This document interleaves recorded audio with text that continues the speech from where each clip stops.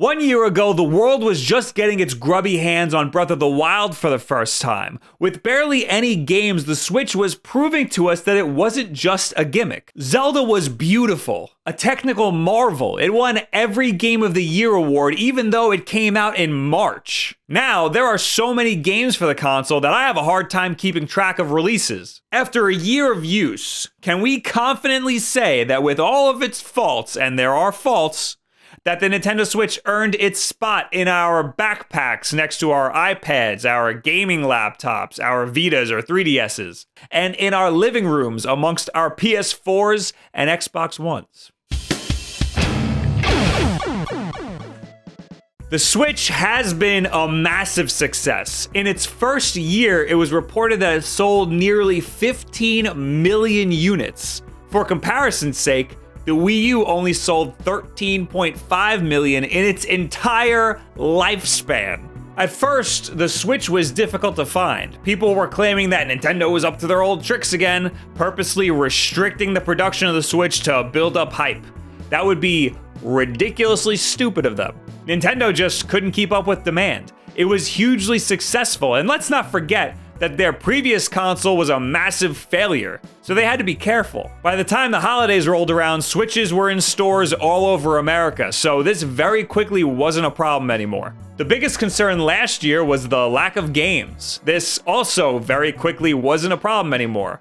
Zelda was enough to carry the Switch until Mario Kart 8 came out, Mario Kart 8 was enough to carry the Switch until Splatoon 2 came out, and Splatoon 2 was enough to carry the Switch until Super Mario Odyssey came out. Of course, there were also sprinklings of great games in between those.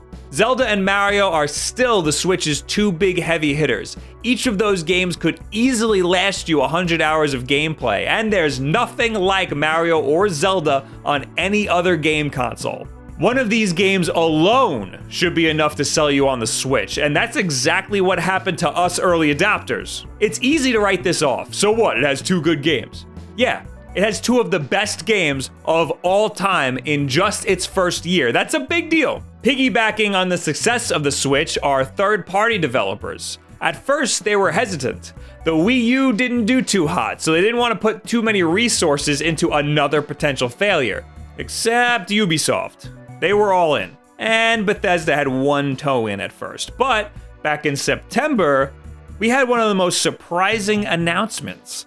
Bethesda was porting Doom over to the Switch, and we would get the new Wolfenstein game in 2018. These are graphically intensive games. Bethesda saw that the Switch was worth the extra effort. Rocket League is currently a fan favorite on the Switch. Psyonix is heavily supporting it with updates. They're releasing an update for the Switch version that will bump the resolution up to 900p or 1080p, depending on whether or not you want the frame rate locked at 60 frames per second. Of course, you could just play Rocket League on another device at 1080p 60, but you can't throw that other device in your bag. Here's that one guy, oh, it's a gaming laptop, I can throw that in my bag. You can't throw that in your bag like you can throw a Switch in your bag. It's not the same size. Think about how small a gaming laptop would have to be. Developers and publishers are finding out that consumers are willing to compensate for a lower graphical power with portability. It's a trade off that Nintendo had doubled down on. Most people I know play their Switches in portable mode, lounging on the couch. Their Switches barely, if ever even, touch a dock. I am an outlier. I play my Switch almost exclusively in docked mode. That would be because I never leave the house, and when I do play, I'm usually streaming twitch.tv slash wulffden, gaming.youtube.com slash wulffden. I do enjoy being able to travel with a high-powered game console in such a small form factor. It's a great addition to a mobile streaming setup. I was so excited to be able to play the latest Mario on a plane. The idea of that sounds so cool, but how often am I really on a plane? Last year, I took the train to PAX East and I was stoked to play Zelda on the train, and then I just never pulled my Switch out for some reason. I was like doing work the whole time, but whatever. Don't get me wrong. Having the peace of mind to know that I could take these games with me if I need to is awesome. I'm in the process of moving all my stuff to an office. That's why I'm in my room right now. That means that all of my game consoles will be there too, except for the Switch. That I'll just be able to toss in my bag with all my other junk and take back and forth. the Switch is the perfect addition to my arsenal of junk in my bag. This tiny thing can play some powerful games, but not every game needs to be a technical marvel to be good. If the game can run just fine on my Switch, I want it on my damn Switch. Why would I want to play Sonic Mania on my PS4 when I can have it in my bag at all times? This also makes it the perfect place for indie games. These developers have the potential for a resurgence in popularity with a Switch port. And if these aren't enough games for you, importing games is super easy. You can just make an account and set the region to Japan, and that's it. You're all set. Even physical Japanese cards will work in your Switch right out of the box. Let me go through all the games that I have on mine real quick. Mr. Shifty is a fun little indie game. Oceanhorn. Still never played Phantom Trigger. The Japanese Sonic Forces demo, what's that still doing here? Doom, of course. Skip right over Sonic Forces. If you can get a good deal on Super Bomberman R and have some friends to play with, I still stand by that Bomberman is a great game. It caught way more flack than it should have. Highly recommend Gunvolt if you like Mega Man X and it's on sale. It's frequently on Amazon for around $30, which isn't too bad. Mario Kart 8 is a must have for anybody who wants to get people to play with them, especially casual players. Celeste is a must have if you're into 2D platformers. Same with Sonic Mania. Zelda, obviously, Zelda. Owlboy is a very good 2D side scroller. Splatoon 2 is good. I feel like you know if you're gonna like Splatoon 2 before you even buy it. If you're on the fence about it and don't have friends that play it, maybe skip it. That doesn't mean that I don't enjoy Splatoon 2. Splatoon 2 is great. It's just not for everybody, and I and I know that. Inner Space was very disappointing. This Arcade Archives port of Super Mario Versus is terrible, don't buy it. Rocket League is a must-have, Super Mario Odyssey is more of a must-have. It was my personal favorite game of last year and my favorite game on the Switch and Payday 2, which is light years better if you play with friends, but there are so many other great games on here that are probably better to play with friends. This console is built for multiplayer. It has two controllers on it at all times. So if you're playing alone and somebody enters the room, you could just break off a controller for them. It's always ready to party. Yay! Those are party sounds. I've talked a lot about the Switch's flagship games and what it has already, but there's still so much more to come. Kirby is very soon. It might even be out by the time you're watching this. Dark Souls, freaking Dark Souls is coming to the Switch. As of right now, there are some big titles that are speculated to be coming out within the Switch's second year. These are confirmed games, they just don't have a release date yet. We have a new Fire Emblem, Bayonetta 3, and the bigger ones, Metroid Prime 4 and a brand new, full-featured, main series Pokemon game. So there is plenty to be excited about coming soon. We'll also be getting much better online functionality later in the year. As it stands right now, the Switch still can't do voice chat without the mobile app. Journalists were giving Payday 2 a bad review because it doesn't have voice chat, but that's not their fault. It's the Switch's fault. Online games are hit or miss. Rocket League makes it really easy to join up with your friends. Payday 2 is eh.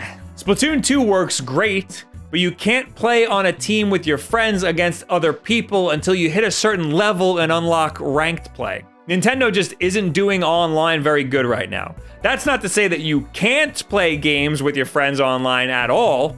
You can. I've had tons of fun in Mario Kart, Rocket League, Payday, Splatoon 2 with private lobbies. Bomberman, hell, even Doom has multiplayer. It'll just be way easier come September to manage your account, hopefully manage your friends list because mine's getting a little big. And hopefully they get rid of this stupid app and integrate everything into the Switch itself. Switch Online will also come with some free retro games, but it'll cost money just like Xbox Live or PlayStation Plus. Significantly less money at only $20 a year though, so not too bad. I've called the Switch the perfect ancillary gaming console before, meaning that it's great to go along with another console that you have to play the more higher end AAA stuff.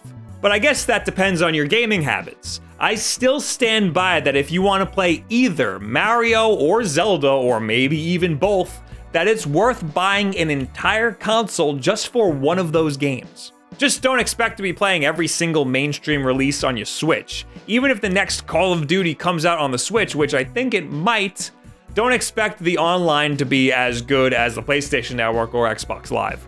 Get it for the exclusives. Get it for the indie stuff. Get it for the local multiplayer games because no other consoles or developers are as focused on local multiplayer as Nintendo is. Get it for the portability, but again, that's not all that it's good for. This thing is a jack of all trades, and it's a master of some of those trades. Some people consider the Switch to be too big to be truly portable. I think the best argument against that is all the kids who game on iPads. They don't care, and they have backpacks for a reason. If that's your logic, the only truly portable gaming device is your phone because that's always with you. I'm not sticking a 3DS in my pants either. The battery life was a big point of contention for a lot of people when it was first announced to be only three hours, but that's only with graphically intensive games like Zelda. With something like Sonic Mania, you're looking more at about five to six hours. Again, I'm mostly playing docked mode, so this isn't really a problem for me. But in the rare case that I am, say, on a plane, I either just play for three hours because let's face it, that's a pretty long play session, or I plug in a USB battery power bank. The Switch uses a USB Type-C port, so whatever you use to charge your phone or USB device, you can use to charge this. Speaking of which, there are some essential accessories that I think are necessary for the Switch that can get pretty expensive. If you're playing in docked mode, I don't think the Joy-Con grip is gonna cut it. You're going to need the Pro Controller, and that can get pretty expensive. I'd also recommend the SN30 Pro, but that's not that much cheaper. I've made videos on all of these things in the past that I'll link in a card right here, along with a playlist at the end of the video so you can watch it afterwards and see what you're missing. It's just some suggestions of what I think are the best stuff to go along with your Switch. If you're going to be bringing your Switch back and forth between multiple locations, an additional official Nintendo Switch dock can get pretty expensive too. The Best Buy Insignia dock comes with a charger and isn't that much money or get one of the cheapo ones on Amazon, but for those, you're gonna want an additional charger. And let's not forget a case for the Switch. All of these things start to add up eventually. It could be a pretty cheap console at the bare bones level, but you could end up spending a pretty penny on this thing. So after all of that, in 2018, in year two of the Switch, why would you buy one?